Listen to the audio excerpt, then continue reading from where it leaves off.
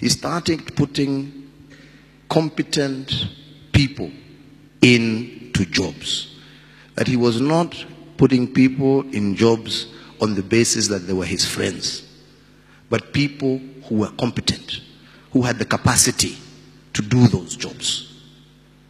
So if it is in revenue, you put somebody who has the capacity and somebody who has the will and want to do the job. Because that is one area that we have we really had backslided before.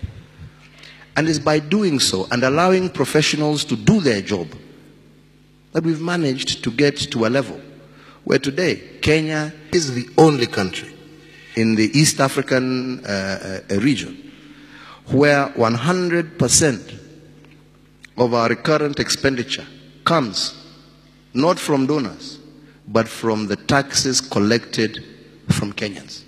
So our teachers, we pay. Our, our, our health workers, we pay. Our civil servants, we pay. Countries like Uganda, Tanzania, they have at least 40% of their budget, their recurrent budget, financed